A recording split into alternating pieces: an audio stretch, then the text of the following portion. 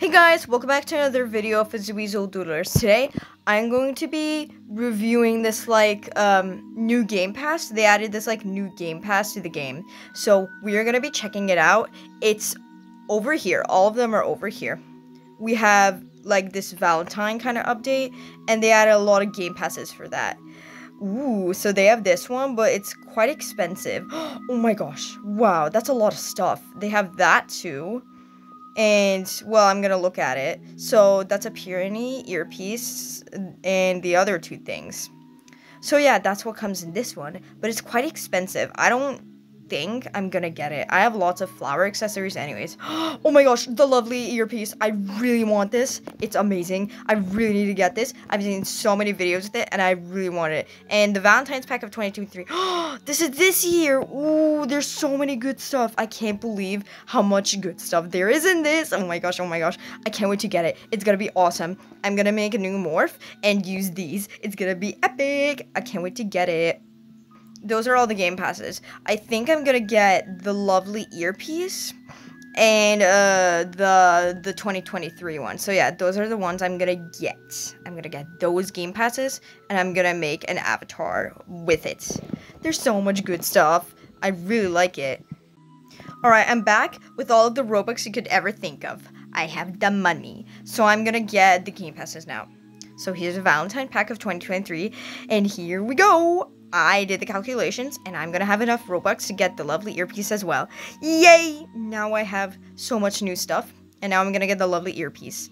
I will only have nine left, but whatever, it's worth it. Yee, there it is. Now I can make something with these. Obviously, if we are gonna make a morph, we have to reset this, and don't worry, I have it saved. So now, I can make a new morph. Yay! It's gonna be awesome. Alright, let's get started on this morph. First of all, I'm gonna do the face, you know, the ears, the eyes, all that stuff. And now I'm gonna get started on the fur.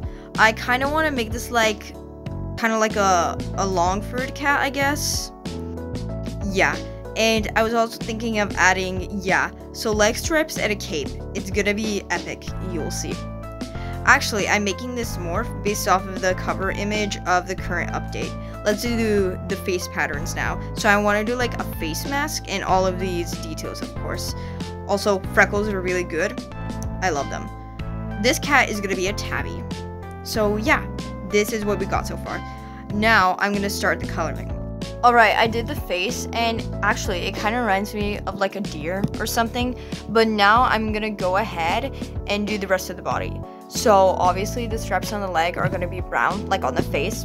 And actually, I decided to ditch that cape because it just wasn't it. It was really killing the vibe. So now we got to like fade on the feet. Yes, this is like, kind of like a Siamese. And we're gonna do the tail now. I really like this fluffy tail and I use it actually quite often for most of my morphs. Alright, we are mostly done with the base. Alright, I want to do the eye colors next. And actually, I'm gonna go kind of rogue. Hmm, rogue. And like make the eyes actually blue and purple and not just blue like the cover image for the Roblox update. And now we just gotta do the finishing touches and now we can add the game passes. Yes, so I'm using the game pass that I bought now because that's the one that's being used on the cover image.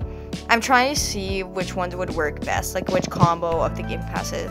But I practically tend to use those crystal markings on most of my morphs. Yeah. Right now I'm trying to go for this like uh, bluish and purplish kind of color that I see on the cover image for the update, but I don't know, I guess I'm just not really feeling it. I feel like it could be better, like some other colors.